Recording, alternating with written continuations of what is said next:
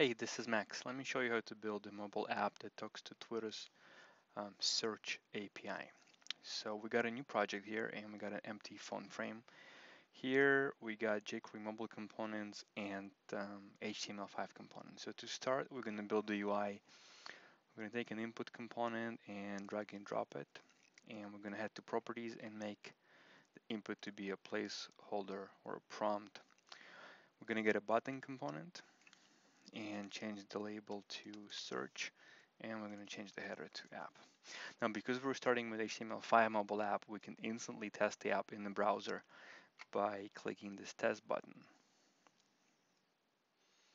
Right and you should see um, the actual app uh, in the browser. Now if you would like to test without this phone frame you can go back test and you can uncheck this option and if you would like to share the app or open it on your phone um, make sure to make it public. So let's continue building the UI. Um, we're gonna go um, scroll down a little bit and gonna get a grid component.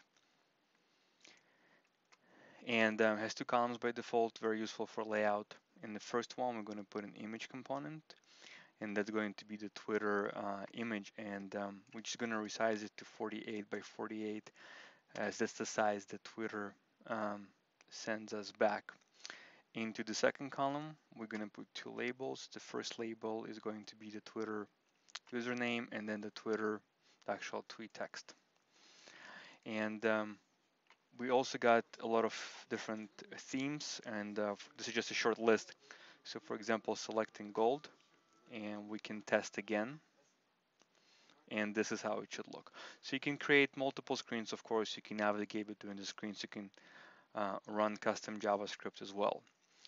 Um, but next step for us would be to connect to a REST service or Twitter Search API. So let's go back. We're going to go to project and we're going to create uh, create new service. And so we got REST service and this is fine for the name. Click OK. And we're going to enter the Twitter's um, search API URL. Search right?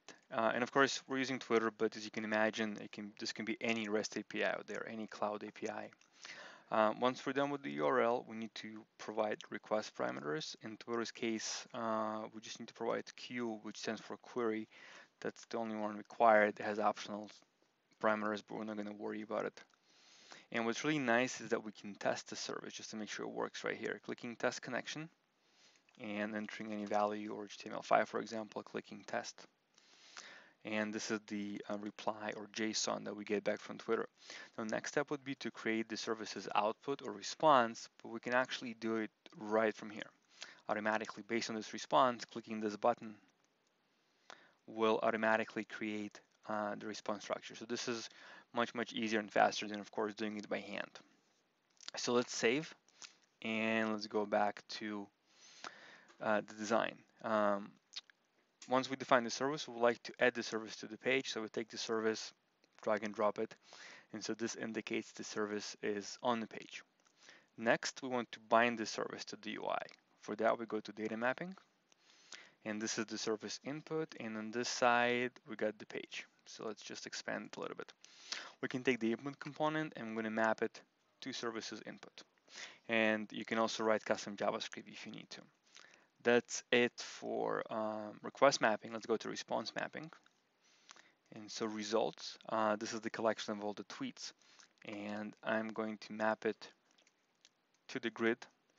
And why to the grid? Um, because it's going to give me a looping feature. Because I'm going to be displaying multiple tweets. Uh, from user, this is the Twitter username. So let's map it to the first label in the second column, text. This is the actual tweet text, so I'm going to map it to the second label. And finally, the picture, which is profile image URL, we're going to map it to the picture. All right, and again, you can write custom JavaScript. You can also save data into local storage. Again, um, we're uh, always starting with the HTML5 mobile app.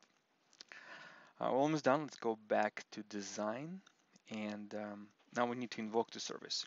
So we select the button and go to events, go to click, select invoke service and select the service, click OK. We're ready to test, clicking test. entering HTML5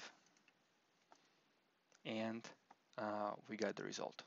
Now if you want to view the app without the frame or as it would look on actual device then we can go back test and then check this option click launch in browser